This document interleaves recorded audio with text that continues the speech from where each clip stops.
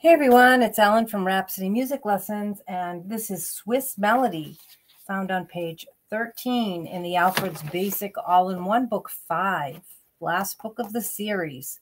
I will leave you a link as to where you can find this book. This video, uh, this video um, is for my students who are learning this piece and anyone else out there who is working on this Swiss melody, which is a Swiss yodeling song, by the way. You can see the.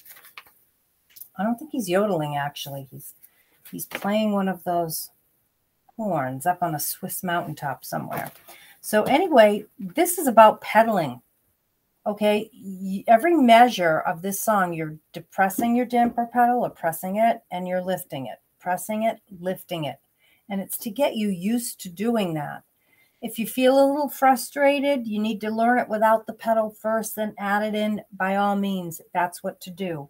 Just take your time with it and you will get this. Just be patient, okay? Because pedaling takes work. And, um, but it is definitely uh, within the realm of possibility, okay? So, anyway, here's Swiss Melody. And if you like my videos, I would appreciate if you'd like and subscribe. Thanks.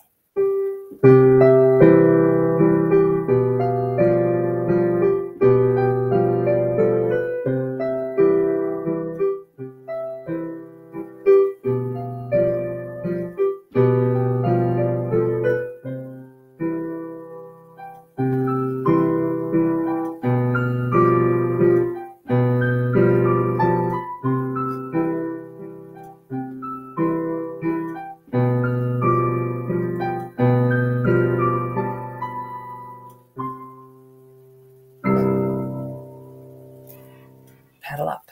And that is Swiss Melody. I hope this helps, and I will see you next time. Bye bye.